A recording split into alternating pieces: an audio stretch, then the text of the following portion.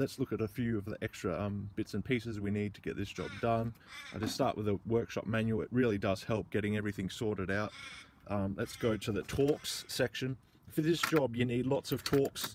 Uh, I think just about every bolt is uh, Torx. So, I mean, if you've got an assortment of Torx, um, you probably, you will need it or you won't get this job done. It's um, just as simple as that and you need uh, extra extension bars and things like that because there's a lot of tight places to get into and to short ratchet. Um, we've got some other bits here. You do need a torque wrench for a few of the um, exhaust manifold pieces. I mean marking pens and things like that always help. Just gloves and cleaning uh, cleaning bits and pieces because it is um it is pretty dirty in a part of the car like in this part of the car.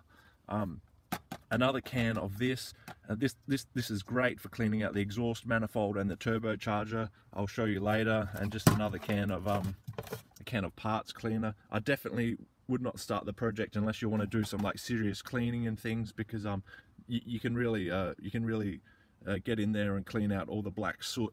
Um, a can of uh, WD-40 or some sort of part spray because uh, when, when you're dealing with the exhaust components um, things can a lot of the bolts and things can be seized up so you may you want to definitely spray them because you don't want to strip any of the um, the parts. And while I'm talking about that uh, I've just got a picture of the copper bolts here because uh, there's a few parts that are held down by copper bolts and they are they are tight they are hard to release. So um, you don't want to thread these because the, the material itself is already soft and uh, if you apply too much force you're just going to rip it off. And um, it's going to cause you all kinds of trouble. And another important thing I just want to bring up too is um, if you lose these bolts your magnetic tool's not going to be able to pick them up. So you've got to be really careful with these because uh, if you if it goes in a hole or something and you can't get it out well you're really stuck because the, the magnet isn't going to pick anything up. Like for example it works here it works here but when you go to the copper it's it's not going to pick it up. So just be mindful of that um, be very careful when you're dealing with these copper bolts. Uh, I've got a can of uh, ceramic paint. Um, I'm going to try and paint the exhaust manifold just to just to see how it turns out. And um, obviously all our gaskets and things here. Um, if you looked at my first video uh, I did get some extra, there was an extra pair of gaskets that I did need for the oil return lines. So um, that's just one extra little bit, little bit of information. Um, I'll probably repeat that a few times. Uh, I'll go through all the gaskets and things that are used up. And yeah, that's pretty much it. Um, you will need all the your toolbox, obviously. And uh, one other thing too is I definitely recommend a good work light because for this project you're going to be spending uh, about 50% of the time in the engine bay but you're going to be spending 50% of the time underneath the car too so you need a good work light um, especially when getting at the turbocharger and the alternator and things so uh, that's all the parts and things we need to. So the first thing you want to do is you want to disconnect the battery negative lead and isolate it. Uh, the reason that this is really important for the project is because uh, you're going to be dealing with the alternator. So you really want to um, just make sure your electrical system is isolated. Um, we've just got the wheel chocks on here. We've got, got the car jacked up. Uh, I don't know if you can see the axle stands, but I've got them positioned from behind the front wheels. Uh, the reason being, you're going to need a lot of space under the engine bay. I've got the cardboard laid down and I've got the jack basically positioned the jack is positioned where the turbocharger is. Um, your head is basically going to be right underneath the car there. So to me, that's just a safety measure. Um, having having the actual stands in the jack position there. Um, and one other uh, trick that I've just got here is uh, I've got the fan running. I have had the car engine running, and the, the exhaust is still still a little bit hot. So I've just got the fan running as fast as possible to cool everything down.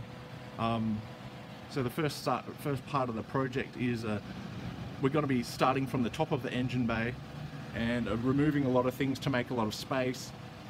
Uh, like I'm going to say this a few times, I'm not going to follow the Haynes manual as perfectly as possible because uh, I like to make a bit more space and I like to make it easy on myself, even if that means removing a few more parts. So I'm sort of going to show you the way that I do it.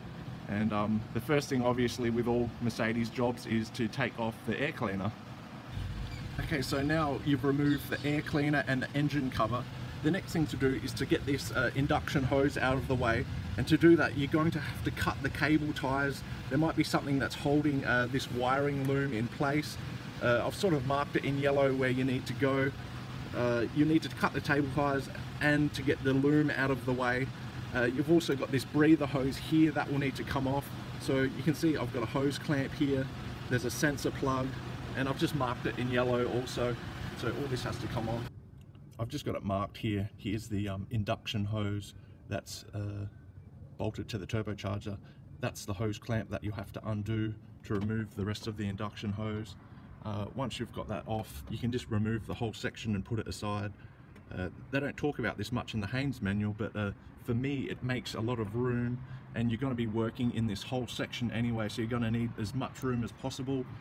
And one other extra tip I've got for you is all these bolts and things in here, you're probably going to be removing them at some point.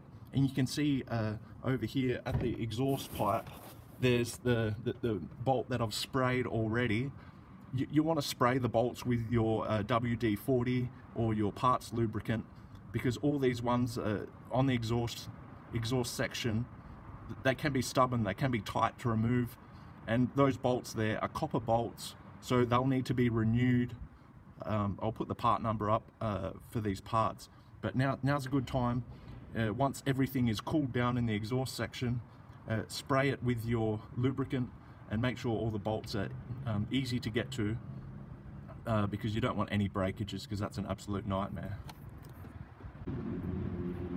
Okay, for this next part, you want to start removing the vacuum hoses. You've got a vacuum hose here uh, for the um, the, uh, the wastegate actuator. You've got uh, these bolts here. I've, I've tried to mark everything in yellow as much as possible.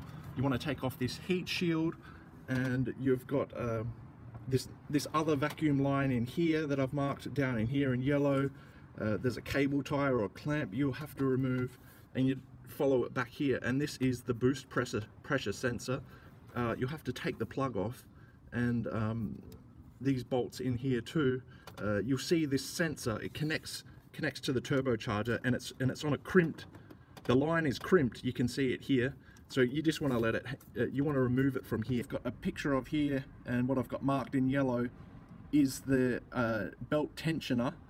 And what you'll need to do is have a breaker bar or a socket arm that's uh, very long and you'll need a four millimeter uh, drill bit and the reason you need those is because to release the tensioner uh, in clockwise direction you'll need to place, uh, if, if you can see that, um, that, bolt, uh, that bolt head that's sticking out, uh, you'll need to place the 17 millimeter socket on that and crank it clockwise. Once you've done that, you'll need to insert a 14, uh, a 4 millimeter drill bit into the tensioner to hold it in place and that, that will basically unlock the belt tension um, it seems like a complicated thing to describe, but I'll put the tools on there and I'll show you what I mean. Um, I've just got a quick, I'll quickly show you here. So I've got the breaker bar and I've got the four millimeter drill bit. Uh, if you can see that's a multi-hex head uh, 17 millimeter socket and I'll show you what you need to do to take the belt tension off.